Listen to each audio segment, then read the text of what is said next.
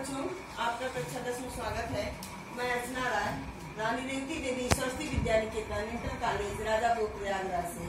मैं आज आपको हिंदी पढ़ाने जा रही हूँ। और हिंदी में आपको बताएँगे कि हिंदी गद्य का आविर्भाव कब हुआ?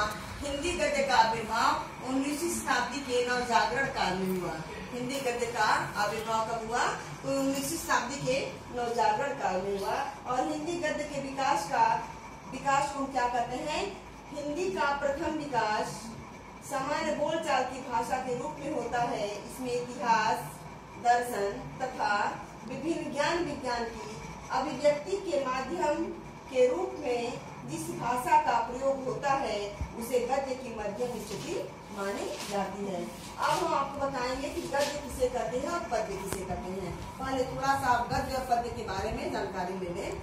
अपने मन के भाव तथा विचारों को अभिव्यक्त करने के लिए व्याकरण, समस्त वह रचना जो छंदों के बंधन से मुक्त होती है, उसे हम गद्य कहते हैं। जो छंद के बंधन से मुक्त होती है, उसे हम गद्य कहते हैं। और पद्य किसे कहते हैं? तो पद्य में लय और छंद के बंधन जिसमें लगे होते हैं, जो कि भाव प्रधान तथा लय और छंदबद्ध होता है, उसे हम पद्य कहते हैं। अब हम बताएँगे आपको कि हिंदी में खड़ी बोली, गद्य के विकास को कितने भागों में बांटा गया है। तो हिंदी में खड़ी बोली, गद्य के विकास को छह भागों में बांटा गया है। लेकिन थोड़ा सा इसके पहले बता कि इसका विकास कहाँ का हुआ था।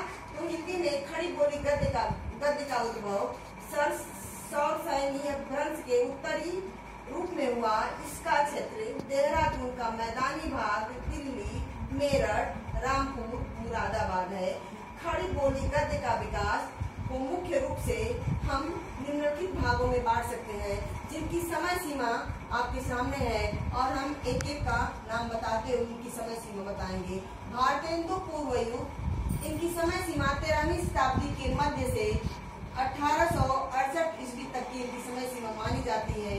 इसके बाद आपका दूसरा आता है भारतेंदु युग। भारतेंदु युग जो कि भारतेंदु हरिश्चंद्र के नाम पे भारतेंदु युग पड़ा है हमारा, और अठारह से 1900 ईस्वी तक इनकी समय सीमा है। इसके बाद हमारा तीसरा आता है द्विवेदी युग। आचार्य महावीर प्रसाद द्विवेदी के नाम से हमारा द्विवेदी युग पड़ा है, जो कि उन्होंने सरस्वती पत्रिका का संपादन भी किया है, जिनकी समय सीमा 1900 से 1920 ईस्वी तक मानी जाती इनकी समय सीमा क्या है? 1900 से 1920 ईस्वी तक इनकी समय सीमा है।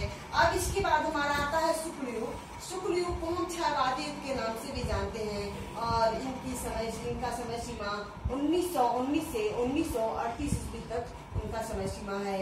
इसके बाद शुक्लोत्तर युग है। जिनको हम छायावादोत्तर युग के नाम से जानते हैं, जो कि हमारा 1938 से उन्नीस ईस्वी तक का समय है।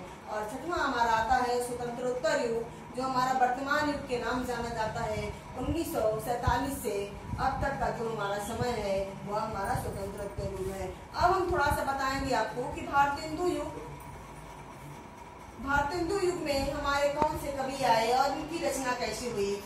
खड़ी बोली गद्य के दर्शन, प्रथम दर्शन, अकबर के दरबारी कवि गंग द्वारा रचित चंद छंद वर्णन की महिमा। 1570 ईस्वी नामक ग्रंथ में होते हैं।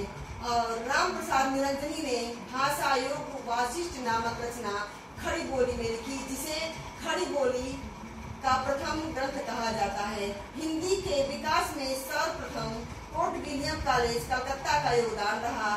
इन, इसके आचार्य जान गिल गिल प्राइट्स ने भारतीय भाषाओं का अध्ययन किया। ईस्ट इंडिया कंपनी के प्रशासकों को हिंदी सिखाने के लिए उन्होंने एक व्याकरण और एक शब्दकोश की रचना की। एक तो हमारा हो गया भारतेंदु पूर्व युग अब इसके बाद आपको बताते हैं भारतेंदु युग, जिनकी समय सीमा अठारह सौ अड़सठ से उन्नीस सौ ईस्वी तक मानी जाती है। भारतेंदु युग के हमारे जो भारतेंदु युग इनका नाम भारतेंदु हरिश्चंद्र के नाम पे इनका भारतेंदु भारतेंदु भारतेंदु के नाम पे इनका पड़ा है। इसके बाद आता है हमारा द्विवेदी युग, जो कि 1900 से 1920 ईस्वी तक तक की समय सीमा माना जाता है। द्विवेदी को कहा जाता है कि 1900 से 1920 ईस्वी तक की अवधि को द्विवेदी युग कहा जाता है। और इस युग को डॉक्टर नागेंद्र ने जागरण सुधार काल भी इसे कहा है। तो इसे डॉक्टर नरेंद्र क्या क्या कहा है? जागरण सुधार काल जी ने कहा है। और इसी में सरस्वती पत्रिका का संपादन भी किया पंडित महादेव प्रसाद द्विवेदी ने सरस्वती पत्रिका का संपादन द्विवेदी रूप में किए हैं। इसके बाद हमारा आता है शुक्ल युग शुक्ल युग छावादित के नाम से जानते हैं। और इसके बाद हमारा शुक्ल उत्तर युग आता है, जिसको हम छावादित्तर युग, उनकी समय सीमा 1938 से उन्नीस सौ सैतालीस ईस्वी तक का जो समय हमारा आता है, वह छावादोत्तर युग या शुक्लोत्तर युग के नाम से जाना जाता है। और इसके बाद हमारा अंतिम आता है स्वतंत्रोत्तर युग जिनको वर्तमान युग के नाम से भी जानते हैं, जो कि उन्नीस सौ सैतालीस ईस्वी से अब तक की इनकी समय सीमा है। आप लोग अब गद्य और पद्य में अंतर लिखेंगे और युग हम लिखवाए हैं इतने इसको लिख करके, अपनी उत्तर पुस्तिका में लिखेंगे और लिख करके इनको याद भी करेंगे। धन्यवाद। आज